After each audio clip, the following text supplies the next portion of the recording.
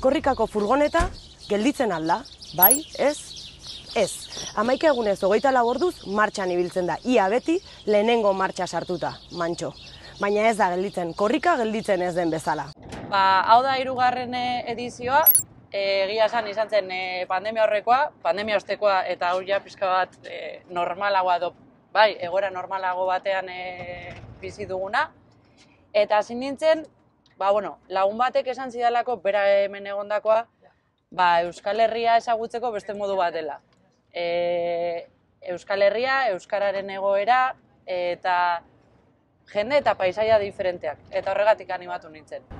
Bat topatu nuen, bilatzen nuena eta gehiago. Ze Euskararen egoera oso diferentea da Euskal Herrian zehar, eta hori ezagutu nahi nuen, eta gero, ba, esperientzia, ez? E, egotea amar egunez, hogei lau orduz, mm, beste bat lagunekin, e, badaude momentu oso politak, oso unkigarriak, momentu estresanteak, mm, kaotikoak, eta baina horretan guztian kriston lagunak egin ditut, e, asko zaintzen dugu elkar, eta lana lana da, oso gogorra, baina baina betetzen du. Bai euskararen alde egiten duguna, pasatzen gara, kaleak, ez dakit, irribarrez betetzen dira, e, euskaraz betetzen dira, eta ba, horre guztiak hase betetzen nau. Gogoratu, furgoneta gidariak bi txandatan aritzen direla. Txanda aldaketa ere, furgoneta martxan dagoela egiten dute. talde bi gara, bai? Eta, bueno, amar, ga- bueno, amaika lagun gara talde bakoitzean, eta pues, egiten ditugu gutxi gora bera amalau orduko txandak. Baten bat baleik izatea apurtzu bat laburragoa, baina bai, amalau orduko txandak. Orduan, bat karreran dagoen bitartean, pues, besteak eh, atxeen hartzen e, dabiltza. Amalau orduko txandak izaten direnez, ba, ez dakit, ai, goizaldeko ordu bietan hasten baldin bagara, ba hori gehi, am- gehi amalau, pues, e, arratzaldeko laura, ke, bai, lauretan e, utziko genuke karrera. Beste lan taldea, e, arratzaldeko lauretan e, sartu eta goizaldeko seirak arte egongo litzateke. Horrela egin da, ba, karrera bere e, zera, e, eguneko momentu guztietan bizi aldugu. Ba, e, ikusten da moduan ba, mikroan eh, aritu. E, esan behar da, gero eta laguntza gehiago jasetzen dugula eskualdetatik eta bertako esatariak etortzen zaizkigula laguntzera eta asko eskertzen dugula. Ba, bueno, tarteka ibili behar da.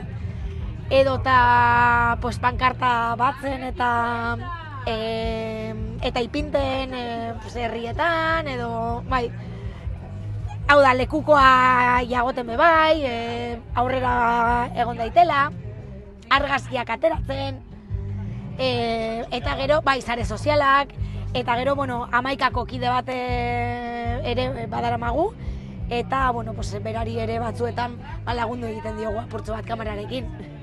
Berak ere atzeden hartzeko. Eta gasolina bota, hori ere furgonetak aurrera egiten duen einean egiten da, bule kostiraleko bideoan azaldu bezala. Geratzekotan, korrika furgonetak kabitzen ez den edo joan ezin den lekuetatik pasatzen denean bakarrik geratzen da. Baina askotan orduan ere ez. Beste bide batetik joan behar izaten baitu korrika berriz harrapatzeko eta berriz bidea markatzeko.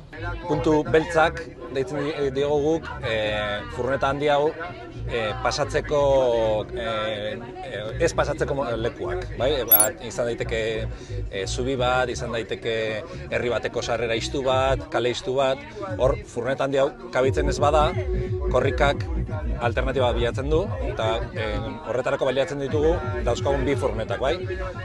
Demagon e, leku batean e, ezin dela pasa furgoneta, orduan.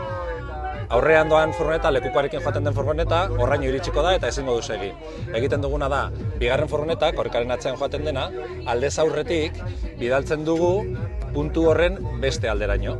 Eta orduan, korrika iristen denean aurreko furgonetarekin furgoneta hori baztertu egiten da pixka bat, korrikoa, korrikak eta lekukoak jarraitzen dute aurrera, eta beste aldean topatzen dute beste furgoneta, eta horrela korrikak jarraitu dezake, eta hori behin egindakoan, fur, at- atzean geratu furgoneta hori, berriro ere, joaten da korrikaren hasiera eta poliki-poliki berrantolatzen gara, pues, bakoitza bere lekuan jarri, eta hori da puntu beltzaren fundamentua. Em, ba, furgoneteroak horri biltzen gara lekukoarekin eh, aurrera eta atzera, baina ez guk eramaten, baizik eta laguntzen lekukoak lekuko o, kilometroz kilometro bere bidein dezan, baina azedoko marmari taldeak, uste dut arra- horrela ditzen zela, momentu batean furgoneteroi eskaini digu lekuko era- beraien txandan lekuko eramateko aukera eta eta gutako asko sekula eraman gabe geneukan lekukoa eta eta beste batzuk aia mai, baina momentu hori bizitzeko aukera eduki dugu berriz, beraiek eskaini digutelako, beraz eskerrak bihotz bihotzez, ehar, eharra izan data.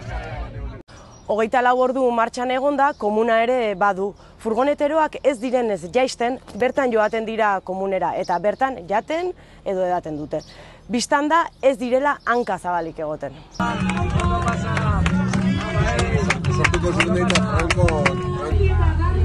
Tipi tapa, tipi tapa. Venga, va a Torcorrica.